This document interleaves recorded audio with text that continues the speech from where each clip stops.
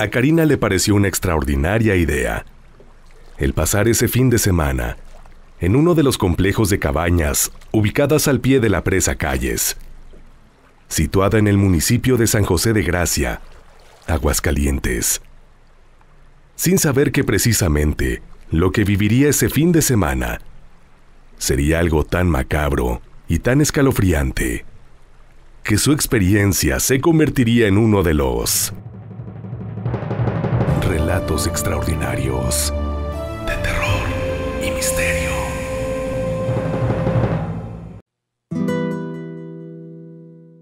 Era un muy bonito paisaje.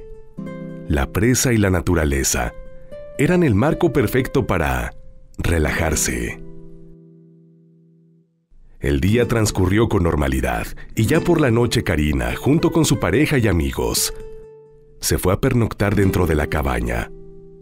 Sin embargo, fue en la madrugada que la protagonista de este relato notó algo que llamó su atención.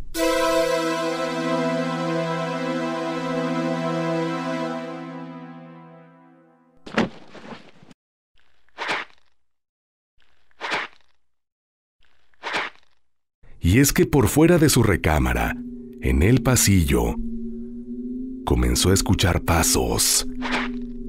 Pasos pesados, de alguien que aparentemente estaba húmedo, mojado.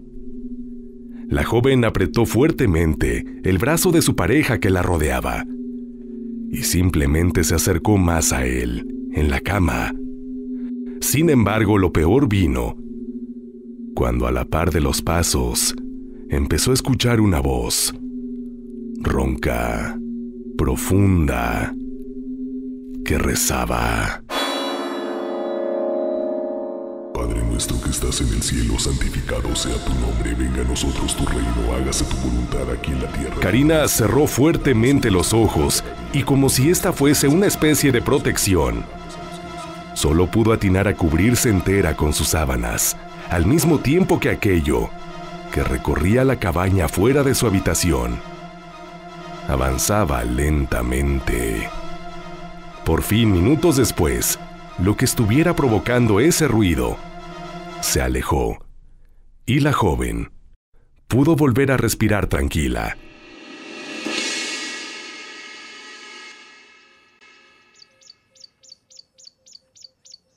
Ya de mañana, la muchacha confesó a su pareja lo que de madrugada había escuchado, atribuyéndolo a su imaginación o a una muy vívida pesadilla, provocada tal vez por el ajetreo del viaje.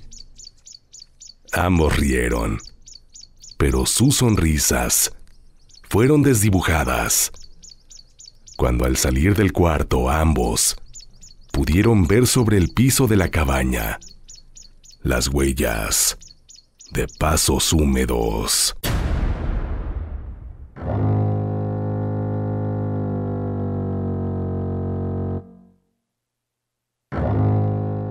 Contactaron a los dueños de la cabaña, pero estos negaron la intromisión de alguien en la noche y minimizaron el asunto sin dar más explicación.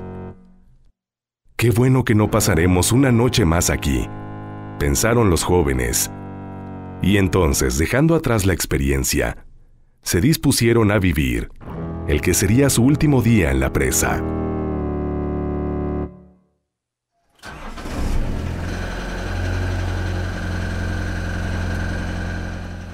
Para tal efecto se dispusieron rentar una lancha que los transportaría hasta el monumento más representativo del lugar, la escultura monumental llamada Cristo Roto ubicada en el centro de la presa. Todos abordaron y el vehículo se puso en marcha. Cuando estuvo más cerca de la orilla, el motor se detuvo, pretendiendo llegar hasta el muelle solo con el impulso. Y ahí fue que Karina dirigió una mirada al agua de la presa, todavía honda.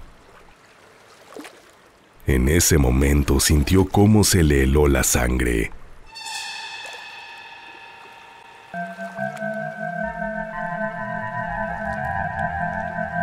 porque de las profundidades pudo ver cómo emergía poco a poco una figura que a pesar de lo turbio del agua, en un punto logró darse cuenta que aquel era un hombre vestido de sacerdote, de piel extremadamente pálida, azulosa y en algunos puntos putrefacta,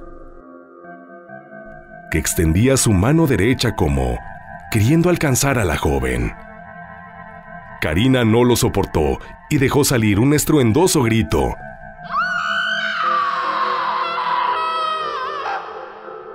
que llamó la atención de todos los presentes.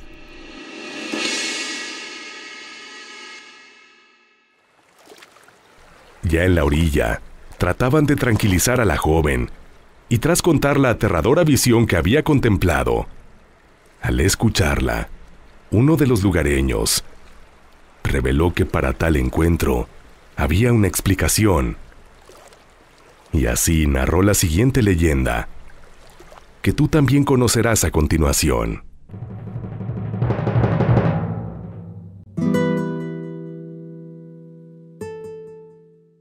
Resulta que la presa Plutarco Elías Calles fue construida de 1927 a 1928 por la empresa norteamericana J.G. White.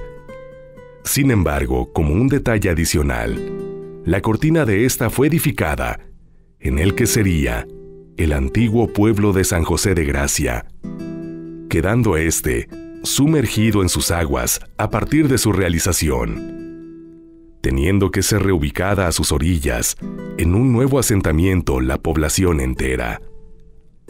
Sin embargo, cuenta la leyenda, hubo un padre que, tal como capitán de su barco, se opuso a la destrucción de su parroquia y se negó a abandonarla. No obstante, la empresa hizo caso omiso, y el día de la inauguración de la cortina, a pesar de saber que el presbítero estaba ahí, dinamitó la antigua puerta de la presa sumergiendo tanto pueblo como parroquia, como padre.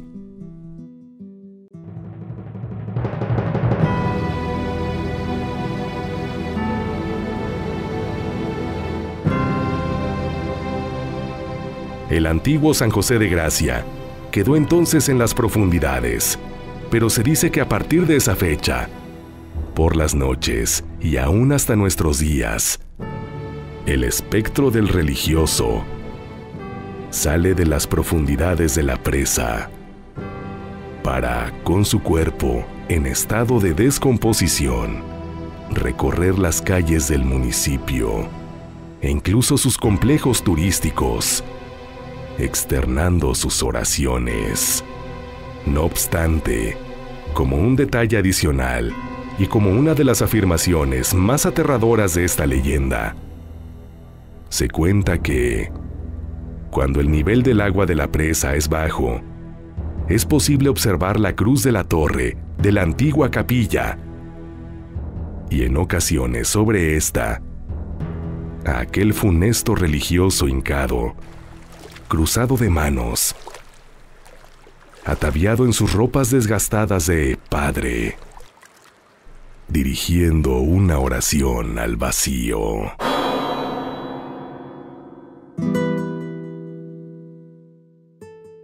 La próxima vez que visites San José de Gracia, no olvides ir hasta este lugar.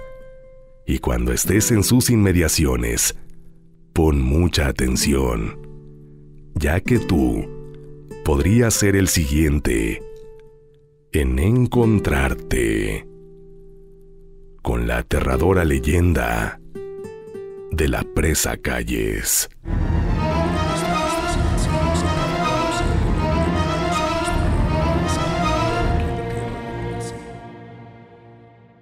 Hasta aquí el relato de esta noche. Si fue de tu agrado, no olvides expresarlo con un like Y si aún no lo haces, suscribirte a este canal y de ser posible compartir su contenido. A su vez te invito a que, si así lo deseas, uses el botón de Gracias, ubicado en la parte inferior de este video, en donde podrás brindarme un apoyo extra que representará una extraordinaria motivación para seguir creando este contenido. Súmate a la comunidad extraordinaria en Facebook, dando like a nuestra página. Y mantente muy pendiente de este canal para que no te pierdas la próxima narración, que formará parte de los Relatos Extraordinarios.